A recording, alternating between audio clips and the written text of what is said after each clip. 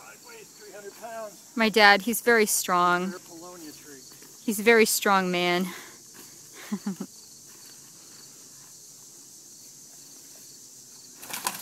yeah. My mom, she is also st strong and awesome.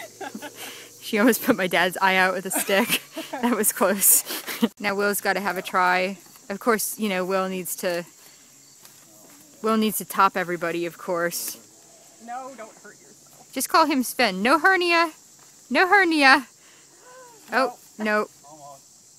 He is. He's like a world's strongest. Call him like, what, Magnus Magnuson? Hello. That's pretty sexy though. Sexy man.